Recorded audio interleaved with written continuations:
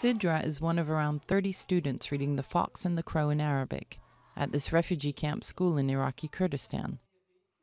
For this young Syrian Kurd who arrived here in April, the chance to attend school is a golden opportunity.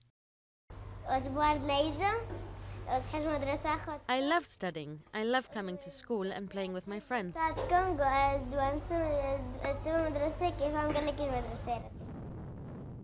Not everyone at the Domiz camp is as lucky.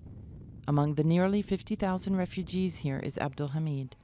The 12 year old sells ice cream to help pay for his father's medication.